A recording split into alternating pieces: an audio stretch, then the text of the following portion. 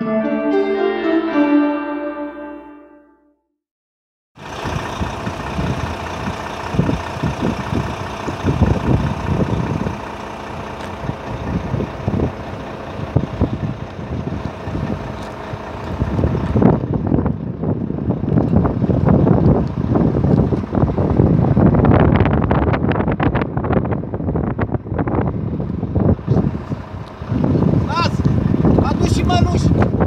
Manush